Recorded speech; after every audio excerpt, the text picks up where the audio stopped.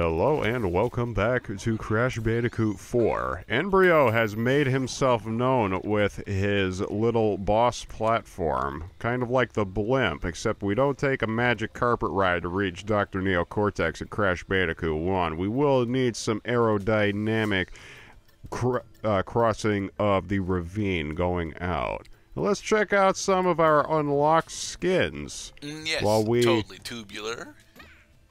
While Marsupial we- select, uh, uh, uh, erectus. Those thick eyebrows. And serious upgrade. Honestly, And we're gonna go I, I with- actually like the uh, serious upgrade cyborg. I think that totally tubular is actually one of Coco's best costumes. You know, sometimes these levels are really smooth and expedient.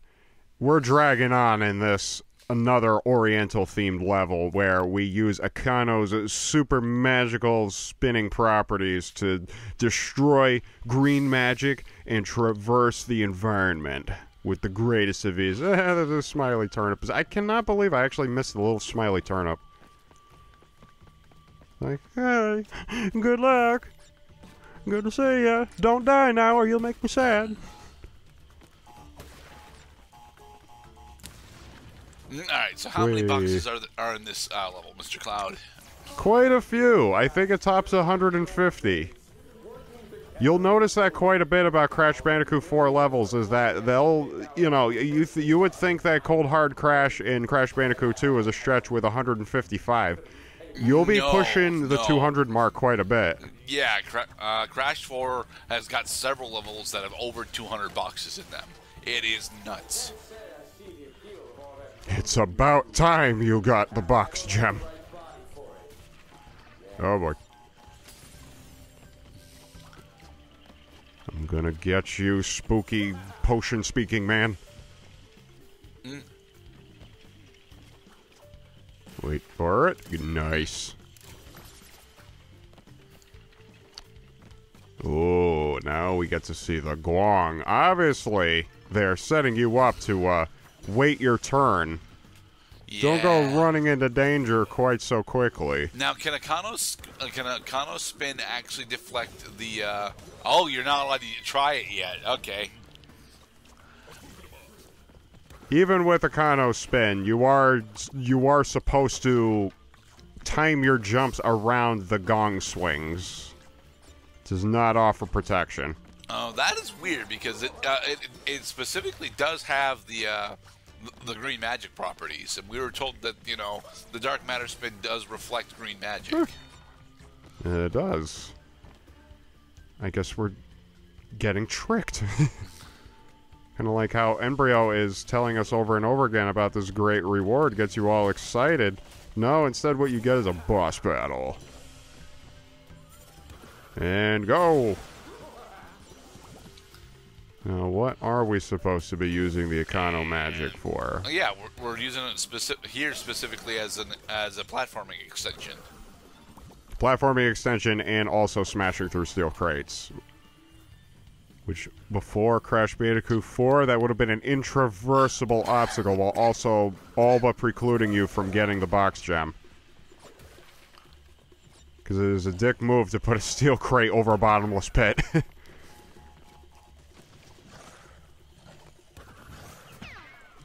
That was weird that you actually got uh, got to, to take both of those out because we were we've um, um, been trying to deal with those uh, those uh, Shishui Alliance already, and um, mm, and uh, they uh, we tend to get repulsed by them uh, if we attack them in front. right? Well, we got our, the Well- first Wumpa Gem. Yeah, well, the uh, green magic dragons will have no effect on us. Careful. Oh, great aerial maneuver. Yeah, not that great, honestly. Like it, it very clearly wants you to uh, uh, bounce, uh, bounce on the uh, bounce on the top crate, bounce, uh, bounce on the second, and then use a and then use Akano in order to, uh, in order to uh, uh, take out the final one. Now watch out for the bouncy dragons. They're on a fixed route. For as early as Crash Bandicoot 1, we've had to learn how to get around creatures that are moving in specific intervals like it's their job. To be perfectly honest, the I al- I always remember uh, the the Turtle Woods uh, style of uh, enemy placement. Uh, when it comes to crash when it comes to crash enemies. I don't really, I don't really remember most of the other uh, uh, styles of enemy placement that Crash plays with, though. Like this style right here was most certainly in Crash 3, but I don't remember where. Uh, you might be thinking of the Pura levels when you're playing when you're riding Pura as Coco. Did the dragons ever actually do the um, the circular thing? They did. They did do the circular thing. That honestly, that's probably what they're referring to. Except now, instead of riding Pura through the levels, now you're just going through as Coco or or Crash as you see fit. Very good. Save those boxes for another checkpoint. Now, after an unspeakably large number of retries at this bonus stage, we'll show you how it's done. Because they actually let us use Akano during this bonus stage. Alright, so bounce on the TNT. Gotta time it. Yeah. Okay, good. Maneuvered around the dragon. Yep. So clearly there is going to be one of those. Yep, it's a nitro detonator. Now hit the detonator. Nitro boxes and explosives cannot destroy steel crates, but Akano can. Mm, nice. Three, uh, four additional lives. Oh, this is actually on, on one of the smaller uh, box total levels at 139, and we have almost. Smaller box total. Hey, it is a smaller one for this game, God help us. And we do already have two of the three Wumpa gems. So Maybe Crash there, all 5 three will. Uh, gems. Yay! would you attempt a box gem that had a 500 box requirement? Uh, the problem is I know that there is at least one of those in this game. I- Really? yeah, I think it's either 515 or 512. Jesus I, for, Christ. I forget which level it is, but That's got to be one of those levels where you just find like stacks and piles of boxes just everywhere, and you have I some. Think it's Dingo, uh, is it Dingodile's first? Oh, I'm not supposed to spoil that. Um, I think it's one of the guest characters' first levels, actually. Yeah, because some of the guest characters actually have a knack for taking out large volumes of boxes in a relatively small amount of time. Because I mean, Jesus Christ, if I that that was a graphical glitch there. Something about my video recorded does really does not like these gong guys. Okay. Hmm. And go. You didn't go. Well, because the timing wasn't right.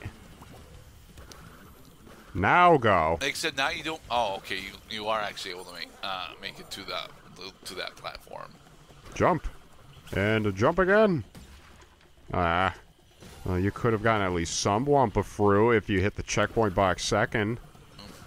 You gotta think longevity. Yeah. Okay, cancel Akano. Jump on the TNT. But you didn't survive the dragon ride. Abuglaba.